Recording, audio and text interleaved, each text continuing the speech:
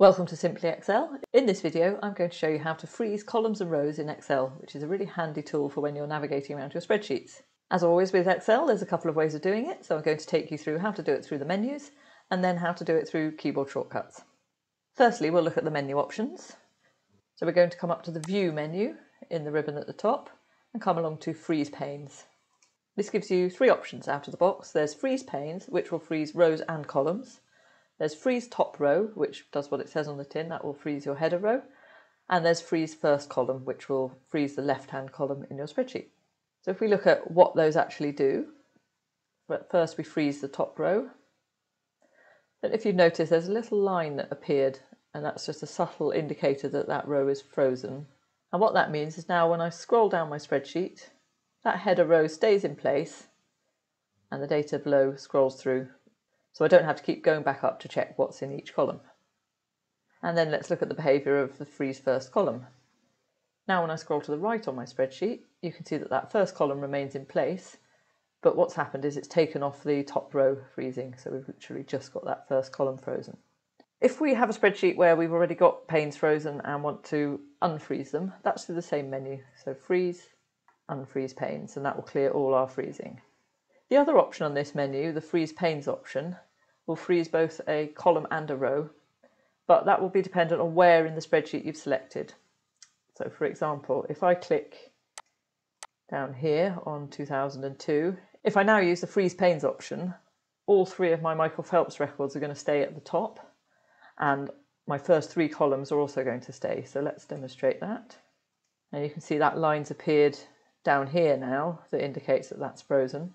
If I scroll down my sheet, you can see the three rows at the top have stayed. And if I scroll across, you can see the first three columns have stayed. So you can apply that any way you want. So if you had a bigger spreadsheet than this one, you might want to freeze a couple of columns so that you can scroll across the right, or, or you might have more information at the top of your spreadsheet that you want to keep in place as you scroll down. So let's just clear that again. And I'm just going to show you the keyboard shortcuts for freezing the top row and freezing the first column. So to freeze the top row, we hold down the Alt key on the keyboard and then in sequence press W, F, R.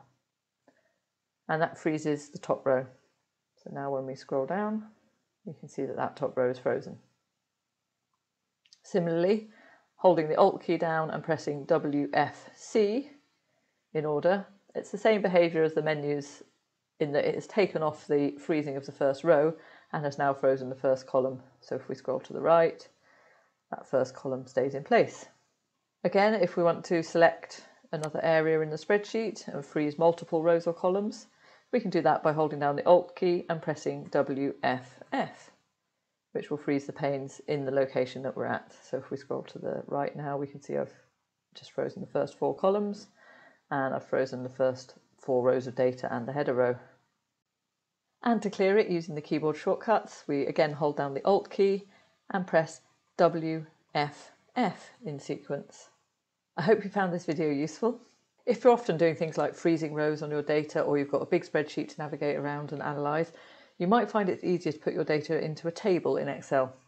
I've done a whole video on that because it gives you so much really useful functionality that's going to save you time every day. I've put the link in the description, so please head on over and watch that video for more information. Thank you so much for watching today. Please like and subscribe to my channel for more Excel tips.